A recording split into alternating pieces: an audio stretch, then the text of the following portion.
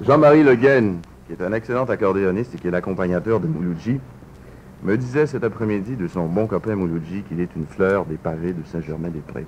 Est-ce que ça vous plaît assez Une fleur des pavés, ça fait très efféminé, ça.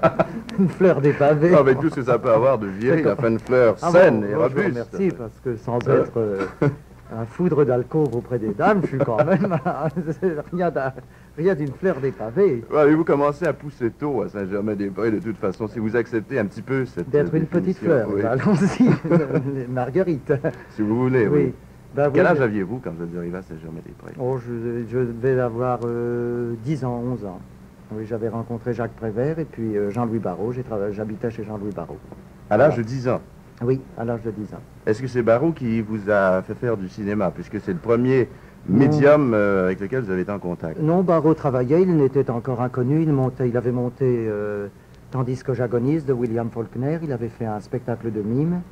Et puis, euh, et puis il était toujours en train de mimer, d'ailleurs, était toujours à moitié nu dans son, dans son atelier rue, rue, rue des Augustins, qui est devenu atelier de Picasso. Voilà. Non, moi j'étais à Saint-Germain-des-Prés, comme ça, au milieu de tout ce groupe. Est-ce que c'est là que vous avez décidé de faire ce métier de, de- de comédien? Moi, je décide... c'était votre premier métier? Ah oui, non, moi je décidais jamais rien. Je me suis toujours laissé balloter par les courants de l'histoire. À qui vous a donné la première poussée alors? La première... Comment ça s'est fait? Ah, la première poussée Eh bien, la première poussée, euh, j'étais dans un... J'étais enfant, euh, j'étais dans un groupe d'enfants où on cherchait à... à- On cherchait les qualités artistiques de chacun. Enfin, on m'avait dit que je pouvais chantonner, etc. Alors j'avais chanté, dans, je chantais dans les soirées populaires. Et puis euh, ma première poussée, si j'ose dire, ce fut que je sortis de scène en... parce que je chantais des chansons mais sans accompagnateur et je prenais toujours trop haut. Oui. Alors j'arrivais jamais jusqu'au bout de ma chanson. Alors ce jour-là, ce qui m'a poussé, c'est qu'il y avait Jacques Prévert dans la salle qui m'a vu puis rigolait tellement qu'il est venu me voir puis il m'a présenté à Marcel Carnet. Et là, vous Voilà. avez fait votre J'ai commencé à tourner, alors c'est tout à fait par hasard. Vous avez fait un nombre absolument incalculable de films euh, à, ce- à cette époque.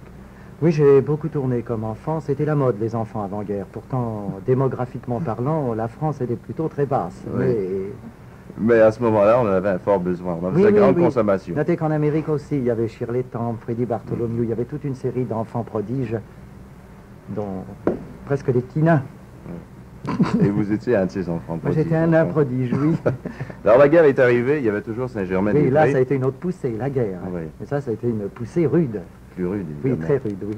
Et là, euh, vous, vous ne pouviez plus faire de cinéma, pour ainsi dire, puisque la production était sérieusement diminuée. à Non, je tournais un tout petit peu quand même, je tournais, mais moi j'ai eu toujours le malheur, à chaque fois que je faisais un grand film, un rôle important, je retombais immédiatement dans la figuration. J'ai toujours mis 3-4 ans à me, rem- à me remettre de chaque rôle. Ce qui fait que ma carrière a toujours passé, été très montagne russe. Vous étiez toujours à la recherche du metteur en scène qui vous donnerait votre chance. Oui, on oui, moi je recherchais pas, j'attendais qu'on me, qu'on me, prenne et j'attendais très longtemps, je m'empresse de vous le dire. Et en attendant, vous écriviez. Oui, par hasard, encore là, tout à fait par hasard. Comme je... En 39, j'avais fait la connaissance de... J'étais au cours de Charles Dunin, et il y avait là euh, une euh, demoiselle qui connaissait Monsieur Jean-Paul Sartre, et, dont on ne parlait pas du tout d'ailleurs en France, mais qui avait écrit La nausée et le mur. Et euh, je fus présenté comme ça par hasard à Jean-Paul Sartre. D'ailleurs, je m'étais insulté avec lui, mais par rapport à cette jeune femme, parce qu'on ne se connaissait pas. Ah bon Oui, il m'avait traité de puceau. ça, ça vous je plaisait savais pas. Je savais pas, je l'avais traité d'intellectuel fatigué. Je savais pas très bien ce que ça voulait dire, mais il l'avait- Enfin bref, et puis il m'avait donné à lire La nausée. Moi, j'avais pas du tout, j'avais pas du tout aimé ça. J'étais à l'époque des Trois Mousquetaires et des choses comme ça. et- Vous ne Enfin- jouiez pas à la scène à ce moment-là? Non, non. Enfin bref, voilà, j'ai commencé à écrire parce que je connaissais euh, Simone de Beauvoir et Sartre, alors euh, j'ai voulu les épater un peu, puis j'ai écrit. Et vous vous retrouviez dans les cafés de Saint-Germain? Oui, c'était en 40 ça. Oui, de 40 à 44, je peux dire que euh, j'ai vraiment vécu uniquement dans les cafés. Mais je crois que ça tenait au fait que en- rien n'était chauffé. Peut-être les cafés, puis enfin le fait de l'accumulation de toute cette chaleur humaine, ça finissait par euh, produire une chaleur animale très intéressante. Et vous Ah, écriviez là, assis à une table? Ah oui, on était des tripotés à écrire. On écrivait beaucoup pendant la guerre. Vous vous gêniez pas mutuellement? Je parle pas du bruit des plumes, évidemment, mais enfin, les conversations, un demi, On, un était, on finissait par s'y habituer. On était comme dans une cloche, sous une cloche à plongeur, comme ça, chacun faisait son, son petit message. Et vous avez écrit un haricot à ce moment-là, Oui, à, en 40, 1940. qui a été votre premier ouvrage. Oui, ça a été le premier. C'est paru qu'en 44 d'ailleurs. Et il y en a eu combien depuis ce temps-là?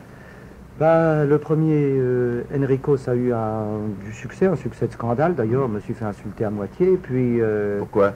Je sais pas, comme ça, parce qu'on trouvait que l'histoire était un petit peu. Les gens pensaient que c'était une histoire fausse. Moi, je disais qu'elle était fausse. En vérité, elle était vraie. Mais comme elle était assez, euh, assez violente, euh, je, je ne disais pas qu'elle était autobiographique. Alors, mon second livre, après, n'a eu aucun succès et le- la suite non plus. Bon. Mais enfin, j'ai continué à écrire, je persévère. hein. Bravo. Vous avez fait plusieurs de très jolies chansons, dont. Le Mal de Paris, qu'aime beaucoup Françoise Fauché. Ah, c'est ce qu'elle me disait tout à l'heure. Immédiatement après la guerre, il y a eu euh, ce boom Saint-Germain-des-Prés. Et Oui. comment ça s'est produit? À ce moment-là, est-ce que vous avez commencé à chanter? Ah non, non, je Non chantais pas. Non, j'étais toujours comédien euh, qui ne travaillait pas beaucoup. Alors je faisais des tas de, de métiers. J'ai fait beaucoup de marchés noirs pendant la guerre, comme euh, beaucoup de gens.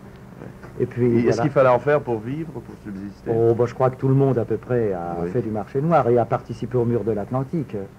C'est obligatoire. Mais donc, Le mur de l'Atlantique. mais oui, oui, parce que je pensais qu'on aurait dû arrêter la moitié de la France à la libération. Nous devions tous être obligés de participer tant, tant bien que mal. Oui, ben en 45, euh, Saint-Germain-des-Prés, oui, ben, brusquement, mais je pense que ça devait... Après chaque guerre, il y a toujours un quartier qui, qui l'emporte sur les autres. En, en 18, c'était Montparnasse. Et en 44, ça a été Saint-Germain-des-Prés. Je ne sais d'ailleurs pas pourquoi. Mais enfin, c'était dans l'air. Alors vous aviez déjà écrit, vous faisiez des chansons, euh, vous chantiez, vous étiez comédien, Ah non, et vous je avez commencé à peindre. Non, je n'avais jamais chanté, non. Ah, vous n'aviez pas encore J'avais chanté jamais peint, non. Non, en 47, euh, après je vous dis tous ces grands rôles qui me menaient à la figuration à chaque fois, à un moment je n'avais rien à faire, alors j'ai dessiné. Ouais. Je connaissais, j'avais fait un jour un concours avec Audiberti, l'écrivain, à celui qui ferait le... On avait fait un concours, savoir qui, euh, qui dessinerait le mieux. Et j'ai fait ce concours. Je crois qu'on n'a pas gagné, personne n'a gagné, mais enfin ça m'a donné... jour, tu verras, l'on se rencontrera quelque part, n'importe où, guidés par le hasard, nous nous regarderons et nous nous sourirons, et la main